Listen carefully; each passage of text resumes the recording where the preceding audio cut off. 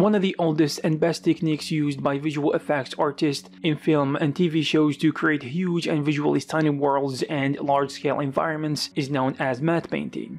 In this video, we're gonna know what it is, how it is being used, and a brief history of how it became an essential part of the entertainment industry. What is matte painting? A matte painting is an image created using digital or traditional painting techniques to create a representation of a scene that would be impossible for filmmakers to deliver in real life or it is not practical to do so. This might be because of the landscape does not exist in the real world, it's not financially possible to travel to a location, or to extend the set outside of its filmed parameters. Matte painting is a painted representation of a landscape, set, or distant location that allows filmmakers to create the illusion of a certain environment. Historically, matte painters and film technicians have used various techniques to combine a matte painting image with live action footage, as it is best depending on the skill levels of the artists and technicians. The effect is seamless and creates realistic and believable environments. In the scenes, the painting part is static and movements are integrated on it. Industries using matte painting. A matte painting can be a mix of digital art, photo blending, deformation, and 3D effects. Digital matte painting are not only used for films, they are recently also used in creating commercials, both print and video, and for backgrounds and skies for video games. You probably have never thought of the possibility of using this technique in video games, but when you consider the fact that video games are getting larger with open world environments and exterior scenes, it kinda makes sense because video games have a limitation in terms of polycount and visual quality that the gaming hardware can handle because at the end of the day, game developers want the video game to be played smoothly. For example, most of the mountains, buildings, and distant elements for the first person shooter video games are often matte painted. It is also a handy technique for creating concept art and illustrations. The only barrier is your imagination and your skills, which can be improved through time and effort.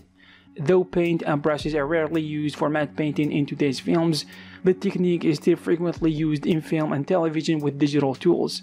The breathtaking landscapes seen in films like The Lord of the Rings, Black Panther, and television series like Game of Thrones are enhanced or wholly created by digital matte painting.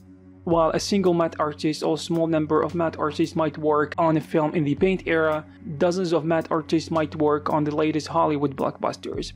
However, digital matte painting is not just limited to big budget films filled with visual effects.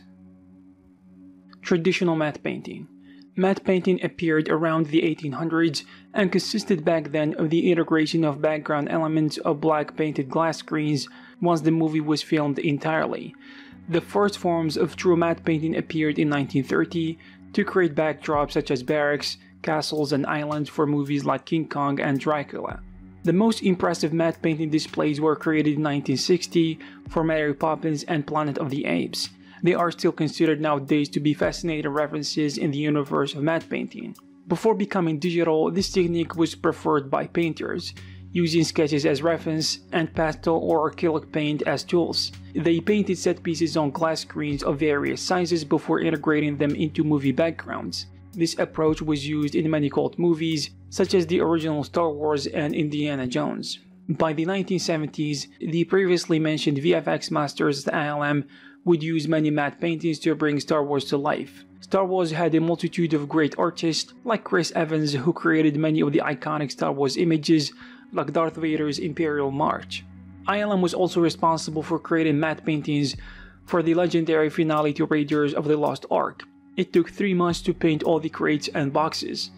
As we made advancement technologically, matte paintings become about digital painting and one of the last hand-painted mattes used in major motion pictures was in the 1997 film The Titanic.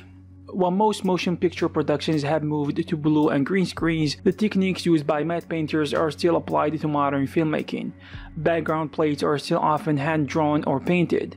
They are used as reference material for digital artwork. Modern matte painting artists switched their tools for digital ones once they started to increase in availability and popularity. The technique was then renamed digital matte painting, and an area of software now is commonly used such as Photoshop and Clip Studio Paint for techniques like photo bashing, and overpainting on photographs to create 2D paintings. Software such as Maya, Blender, and 3ds Max are typically used for 3D projects, and Nuke usually for the compositing process. Computers offer the opportunity to create backgrounds easily, as well as to create variations in the atmosphere, weather, and time of the day. Most importantly, digital tools make matte paintings more realistic than ever to the eyes of the audience. Digital technology brought another significant improvement to matte painting with 3D effects. This new possibility has two main benefits the opportunity to animate 2.5D shots with 3D cameras, and the chance to create sophisticated and complex universes such as whole cities, planets, and forests.